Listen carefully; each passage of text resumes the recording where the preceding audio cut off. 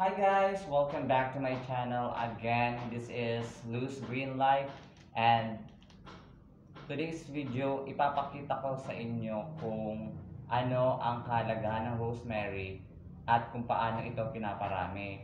Um, so doon sa nakaraang videos, ipinakita ko sa inyo kung paano siya paramihin through cuttings. And um, to be honest with you, kapag pinuprune mo siya, mas lalo siyang rumarami. You know, as you know, rosemary is a fragrant evergreen herb um, native from Mediterranean region and it is also used for culinary condiment and marami siyang benepisyong na ibibigay sa atin. Sometimes ginagamit ko siya as uh, aromatherapy for aromatherapy kapag medyo stress ako minsan. So, ipinakita ko sa inyo nung previous video ko kung paano siya paramihin through cuttings. So, ito na ngayon yung ipapakita ko sa inyo na naging kinalabasan ng rosemary ko doon sa previous video ko. So, kung makikita nyo, meron na siyang mga ugat. So, ngayon, ang gagawin ko ngayon is ita-transplant ko na siya. Pero, this time, ilalagay ko pa rin siya dito para ma-verify ko kung talagang siya nag-grow. So, ngayon, gagawa ako ng butas dito kasi, you know, para meron siyang ano, labasan ng tubig. Mga 1, 2, 3, 4 or 5 na butas lang. Ganito guys. Pareho din dito.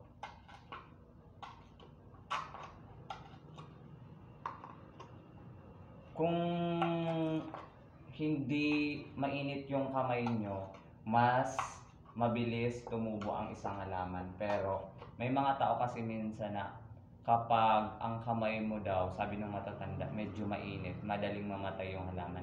Eh since ako medyo gifted naman ako, binigyan naman ako ng healthy hands na hindi masyadong mainit. Mabilis ako makapatubo ng halaman. Ah, pareho rin sa rose, hindi rin ako nahihiraman sa pagpaparami ng rose. Papakita ko sa inyo yung mga rose ko kapag lumaki na sila. So ngayon, lalagyan ko na siya ng lupa. Ito yung potting mix na ginawa ko. Um, para sa akin, mas better na ang gagamitin yung lupa is yung um, yung itim na lupa. Kasi oo din, maganda din yung ano, yung mga potting mix na may mga halong um, kung ano-ano. Minsan nga may mga chemical na ginagamit yung iba. Pero para sa akin, gusto ko yung organic lang, yung natural. Pero doon sa probinsya, ang ginagamit ko talaga, yung, alam niyo yung doon sa kapag ano, yung maitim na lupa sa may tabi ng sinunugan, yun yung mas healthy para sa akin. And para sa akin, mas, mas malago talaga yung halaman ko doon. Kapag yun ang ginagamit ko. Unlike doon sa ibang lupa. So ngayon, ang gagawin ko is, ito transplant ko na siya dito. Bago ko siya i lilipat ulit sa isang malaking pot, dito ko muna siya para ma-verify kung talagang lumaki-laki. Lumalaki na siya. Ano din? So, ito yung lalagay kong una. Make sure na nasa ilalim yung as in ugat niya kasi minsan parang nai-stress din siya lalo na kapag bagong lipat. Okay, lalagay natin siya dito ng dahan-dahan. Careful lang guys, dahan-dahan lang yung paglalagay niyo ng rosemary. Make sure na kapag nag-aalaga kayo ng rosemary, ang duration ng time niya sa pagbibilad is um, 5 to 8 hours. Pero sa this time, ang panahon ngayon, iba na. Kaya minsan, binibilad ko na lang ang rosemary ko. Yung pinaka-maximum niya is 5 hours lang. Kaya yun. Pero nung panahon, mas maganda talaga 8 hours. 8 hours talaga yung advisable na time ng pag Same as the time. Meron din akong time dito guys. Pero ang time ko medyo sensitive. Galing yung Europe, bigay sa akin ng kaibigan ko. Pero medyo, medyo, medyo nahihirapan ako dito kasi yung germination rate niya is medyo mababa. Mahirap, nahihirapan ako sa pagpaparami. Meron din akong ano, meron din akong time na nakapaboy rin ako ng time pero ngayon nahihirapan siya Dahil nga sa klima natin dito. So, ito na. Guys, sorry, mahilig talaga ako magkamay. Hindi kasi ako masyadong nag-gloves kapag nag tatanim ako ng rosemary. Ito na yung rosemary. First, second, ito na yung pangalawa. Minsan guys, kapag may time ako, talagang ano, may mga panahon din na gusto ko rin pumunta lang sa hardin at mag doon mag-relax. Kasi parang ano, gusto ko ang nakapalibot sa akin puro halaman. You know, medyo yun lang talaga yung stress reliever ko, ang pagtatanim. Doon sa probinsya namin, marami at din akong tanim.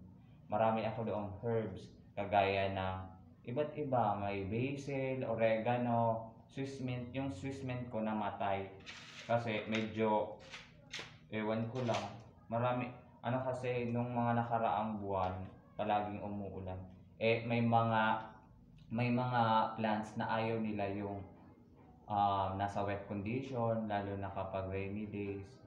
Gusto nila yung, kagaya nito, itong rosemary, drought resistant siya.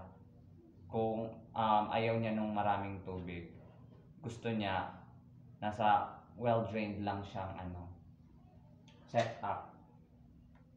Ayaw niya nung para, para, parating maraming tubig kasi nagkakaroon siya ng root rot disease. In the sense na hopeless magparami kapag ganun yung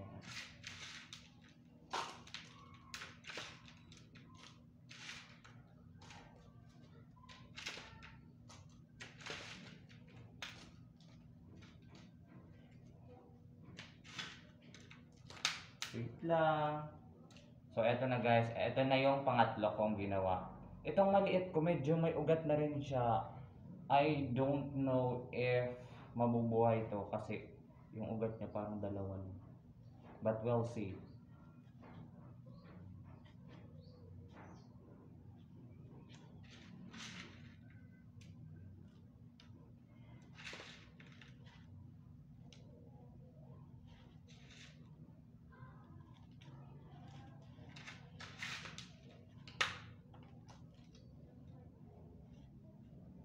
Okay, eto na yung tatlo guys na ginawa ko. Mamaya, didiligan ko siya kasi para hindi naman siya ma-stress kasi mainit ngayon. So, ayan na guys. Ito na yung tatlo kong ginawang rosemary. Um, aantayin ko lang siya ng 7 days or 2 weeks. At makikita ko doon kung talaga siya ay nakapag nakasurvive. Um, as you know, ang rosemary is for me it's a versatile her- herb kasi marami talaga siyang nagagawa. Siyempre, ma- mabango siya, given na yun, pero marami siyang health benefits kasi minsan, kapag stress ako, umiinom din ako ng tsa nito, and ginagawa ko din tong pang ano, yung pang bombing dose. Ka, minsan, hinaluan ko siya ng thyme, ng basil, and sometimes, para magkaroon ako ng ano, yung natural na sweetener, sweetener, sweetener, sweetener, ginagamitan ko siya ng um, stevia. Ang stevia, medyo matamis talaga siya. Nilalanggam yung stevia ko sa bahay. And rosemary, um, member siya ng mint family and ang scientific name ng rosemary is um, um, ang scientific name ng rosemary is Rosmarinus officinalis. Rosmarinus officinalis. Yun, yun yung scientific name niya. Nasa mint family siya. Kasama siya ng oregano, ng thyme, ng basil, and lavender. Minsan, ginagawa, ginagawa din itong perfume knowing that it is very smell. So, yun guys, ito yung ang may advice ko lang sa inyo kung pa- paano alagaan ng rosemary. Three times a day, um, hindi, um, three days bago mo siya diligan or two days.